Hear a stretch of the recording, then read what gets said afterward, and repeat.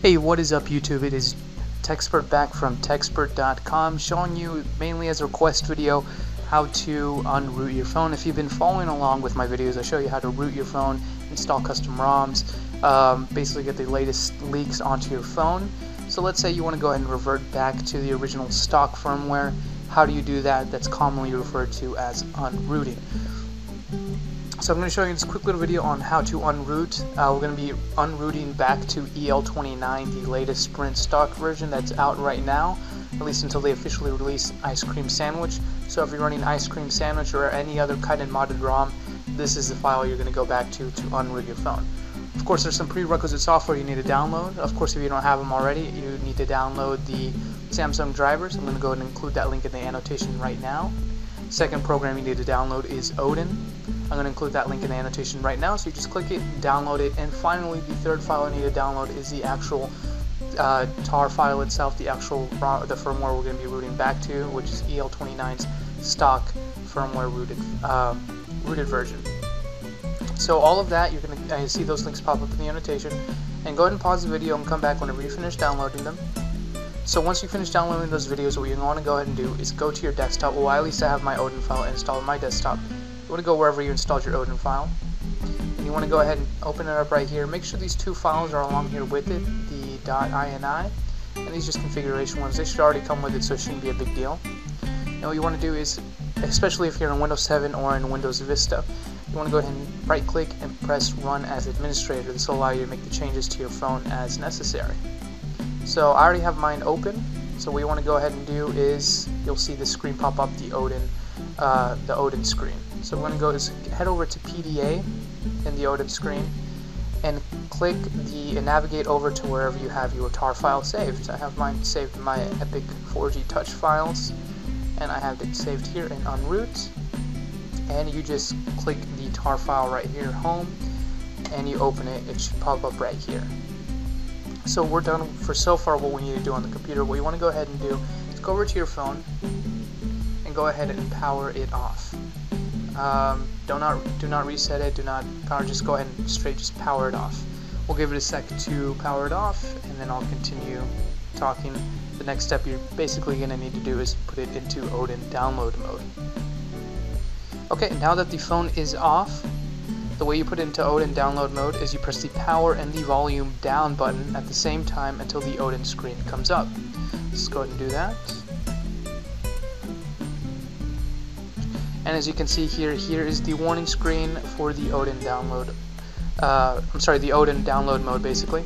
You want to go ahead and hit his volume up to continue. As you can see, that little Android guy pops up saying downloading. So this is the point where you plug your phone into your computer. And again, this is, uh, I recommend doing this after you put your phone into Odin download mode, otherwise you're going to have to unplug it and unplug your phone back into computer. Uh, it's not really, doesn't make really that much of a difference, but it's a tiny bit of hassle that it saves me.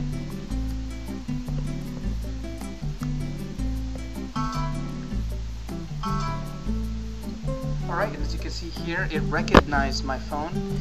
It is now it says now com 13 your phone is going to say that exactly it's going to say com and then a number. The number is unimportant doesn't matter what number it says. As long as it says that number your phone is recognized and you're all set to go.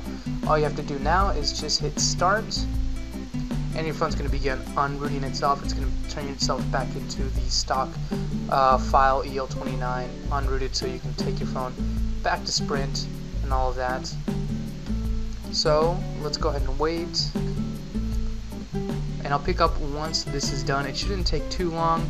Um, just go ahead and you know grab yourself a drink while this is happening. Just come and I'll go ahead and start whenever it's almost done.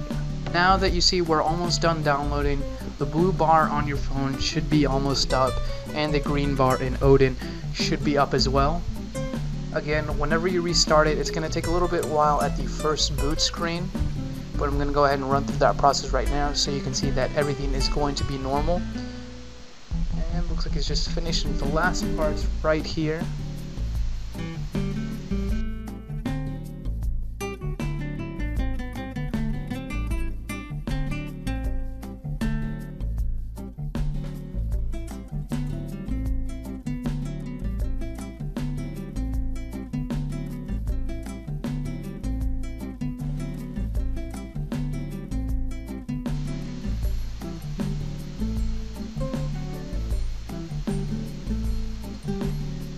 Okay, and as you can see here, the screen went to reset. It's going to go ahead and reboot my phone, and it says pass on it, which means it successfully installed the tar file. So let's go ahead and hop over back to my phone. As you can see here, now I'm back to the uh, custom, I'm sorry, not the custom, the stock boot screen. And I was running the latest ice cream sandwich, by the way. So you can see, I did now root my phone. So like I said, it's going to take a little bit longer at this boot screen. This is nothing to worry about. It shouldn't take any longer than, you know, either two to five minutes.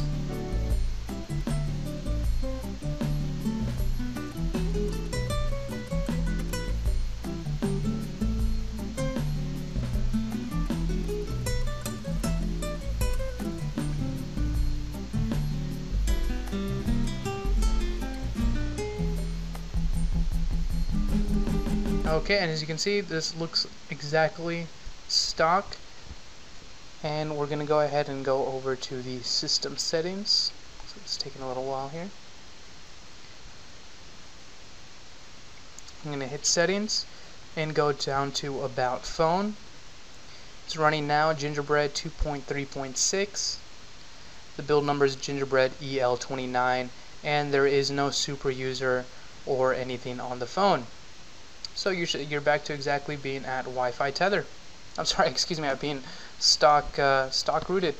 Alright guys, I went ahead and showed you how to unroot your phone. Uh, don't forget to give a thumbs up, subscribe. If you have any questions, comments, concerns, go ahead and leave in the comment section below. And don't forget to visit www.techzpert.com for more reviews, uh, be it for Apple, Mac, um, anything tech related, that is your place to go. Thank you for watching, and I'll catch you guys on the next run.